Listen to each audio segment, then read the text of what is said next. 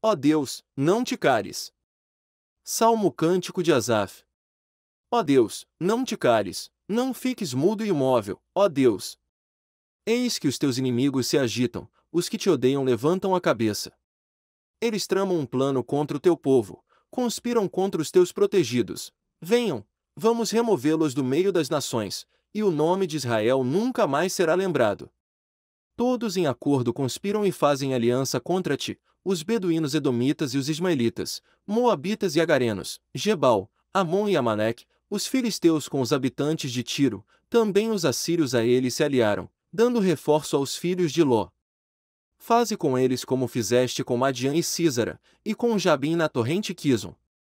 Foram aniquilados em Endor, tornaram-se esterco para a terra. Trata seus príncipes como a Oreb e Zeb, como a Zeba e Salmana, todos os seus chefes. Esses diziam: Tomemos posse dos territórios de Deus.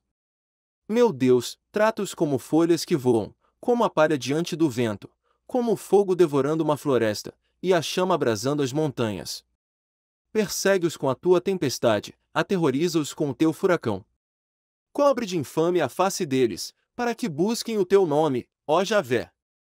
Fiquem envergonhados e perturbados para sempre, sejam confundidos e arruinados.